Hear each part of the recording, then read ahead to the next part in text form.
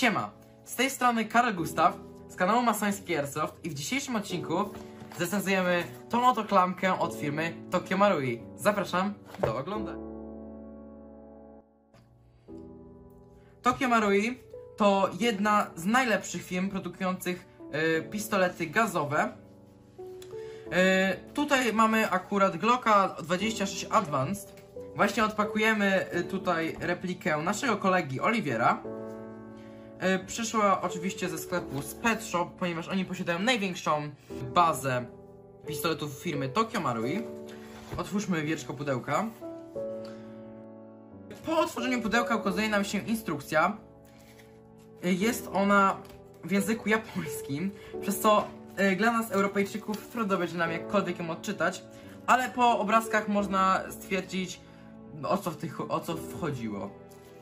Bardzo polecam się chociaż lekko z nią zapoznać, aby nie zepsuć nic w pistolecie. Dalej, gwóźdź programu, czyli klamka. Klamka Glock 26 Tokyo Marui. Jest to replika znanego pistoletu austriackiej firmy Glock. Posiada ona kompensator oraz przedłużone gniazdo magazynka.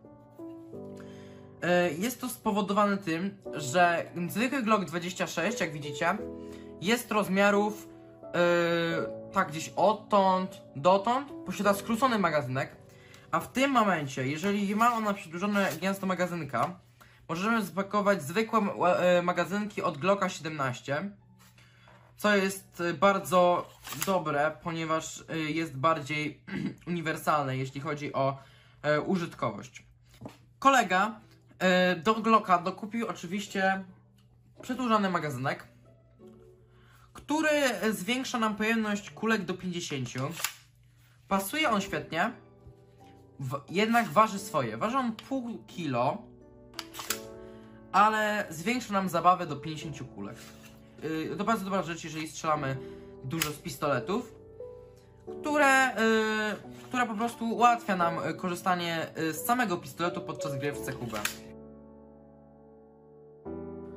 Replika ma 275 fps.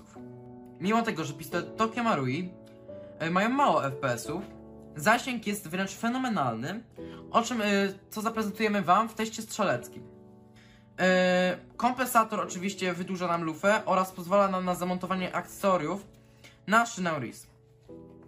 Pistolet jest zasilany green gazem.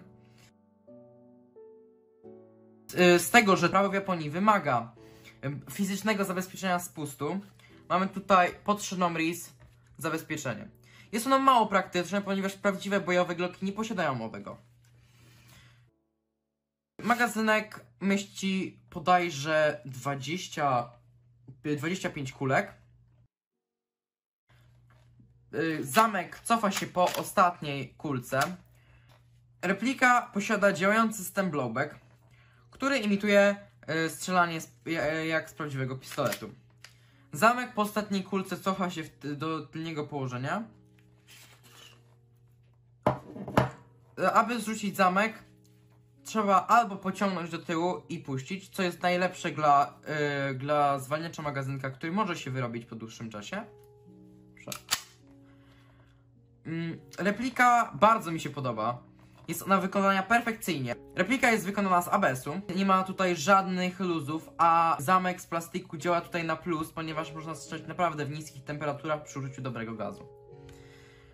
Yy, Naprawdę mogę polecić klamki Tokyo Marui każdemu, który nie chce się bawić w metalowe zamki i strzelaniu CO2 zimą. Mm, Przy doborze dobrego gazu naprawdę można strzelać w każdej temperaturze i naprawdę to jest klamka na lata, która wytrzyma bardzo dużo. Yy, po prostu po prostu jest to inwestycja, jeżeli nie chcecie bawić się w jakieś tanie army czy jakieś WE, jeżeli wam nie pasuje, nie pasuje wam to, że zimą nie możecie strzelać. Oczywiście w pudełku posiadamy jeszcze wycior, o którego mi się na razie nie chce wyciągać, oraz kulki i prawdopodobnie jest jeszcze specjalne szczęki magazynka, które nie cofają zamka, więc można strzelać na pusto. Mamy tutaj jeszcze kartę gwarancyjną, No, w Polsce ona niestety nie działa, no bo wiadomo, nie jesteśmy w Japonii. Aby zdjąć zamek i wyregulować system hop-up, musimy pociągnąć te dwa uchwyty do tyłu oraz pociągnąć zamek do przodu. Po zdjęciu zamka ukazuje nam się komora hop-up i pokrętło do, jego, do jej regulacji.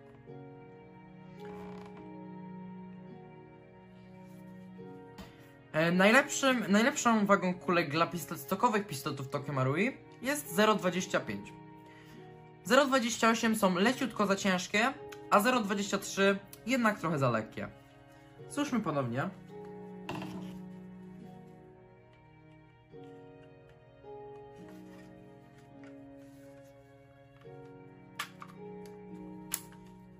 Pistolet mamy już złożony.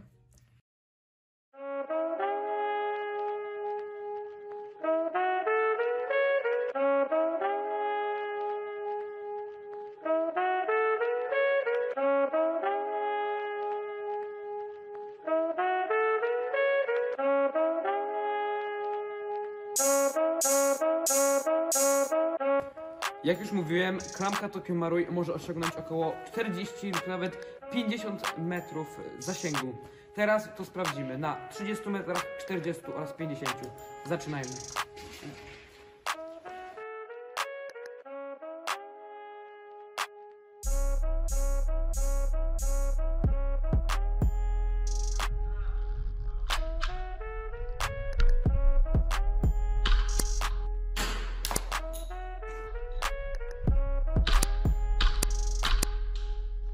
Dalej, na 40 teraz.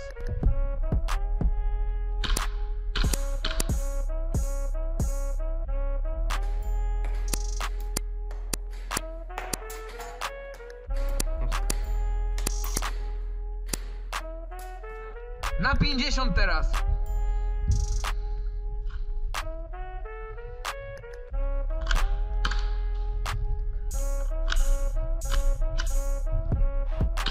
Czekaj. Słynne teksty.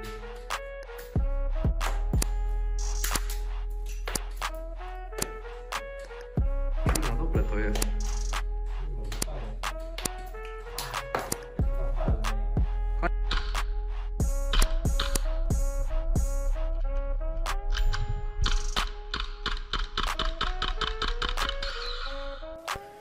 Jak widać, replika sprawuje się fenomenalnie. Zasięg porównywany jest do niektórych karabinów szturmowych. Ogólnie zalecany gaz to 144A. W filmie jednak wykorzystałem gaz WE High Performance ze względu na bardzo niską temperaturę. Nawet w temperaturze minus 1 stopnia, w jakiej ta replika strzelała na filmie, można trafić cel z około 50 metrów. Grałem już tą klamką na dwóch strzelankach i jestem z niej bardzo, bardzo zadowolony. Jeśli chcecie gameplay z tego pistoletu, to piszcie tam niżej. Klasycznie zapraszamy na nasze Instagramy i grupę na Facebooku. Wszystko znajduje się w opisie. Dzięki za oglądanie. Do następnego. Cześć. Jak mi dadzą, to jem.